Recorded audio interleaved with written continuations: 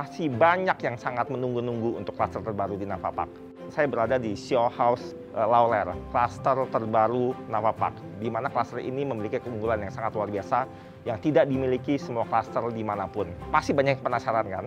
Dan begitu pula dengan Show House kita yang terbaru ini. Mari kita lihat masuk ke dalam.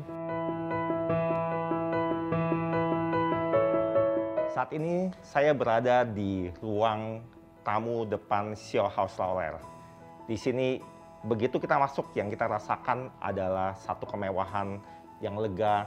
Mengapa? Karena kita di sini dengan sistem konsep interlocking double volume dengan plafon yang tingginya 6,5 meter sehingga menimbulkan satu kemewahan yang luar biasa. Bukan hanya itu saja, ruang tamu ini langsung terkonektif dengan uh, ruang depan. Jadi kita bisa terima tamu dari depan maupun dari dalam rumah.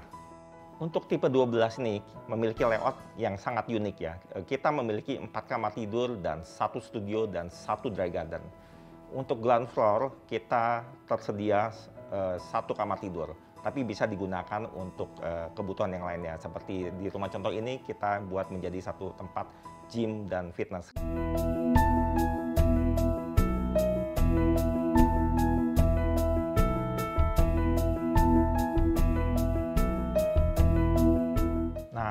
Saya sudah di lantai satu nih. Yang saya rasakan pertama kali adalah luas, lega, dan mewah. Di lantai satu ini layoutnya sangat-sangat efisien ya. Saya duduk di living room, sudah menyatu dengan dining room. Begitu juga dengan dapur, dapur wet kitchen maupun dry kitchen. Ini kita berada di balkon studio room ya di studio room ini itu paling menarik di mana uh, saat ini kita fungsikan sebagai wine room untuk di show house ini. Studio room ini bisa digunakan sebagai tempat untuk mencari inspirasi ya seperti uh, tempat kerja, walking space itu sangat menarik banget. Kenapa? Karena langsung terhubung dan mendapat view langsung ke taman dan ke outdoor yang uh, sangat luas, luar biasa. Bukan hanya itu saja, di samping kiri saya pun ini kita ada namanya dry garden boleh dikatakan itu semi outdoor maupun indoor. Tempat bisa buat untuk afternoon tea atau bisa buat tempat uh, untuk bersantai.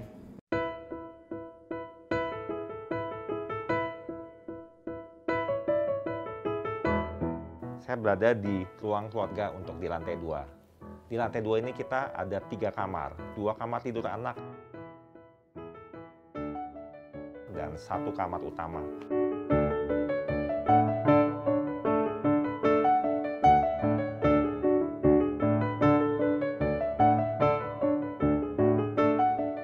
Utama pun itu sangat luas sekali dan memiliki balkon yang view langsung menghadap ke Botanic Park.